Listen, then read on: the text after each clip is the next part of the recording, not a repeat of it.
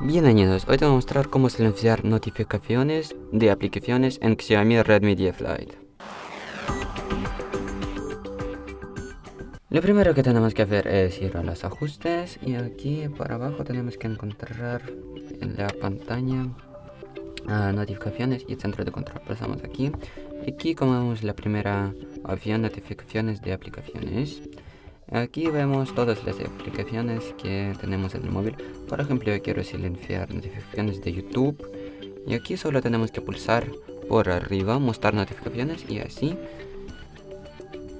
Y así ya no vamos a tener ninguna notificación del YouTube. Ah, y de, otras aplicaciones hacemos lo mismo. Muchísimas gracias por ver este vídeo, dejar un me gusta, un comentario. Hasta luego.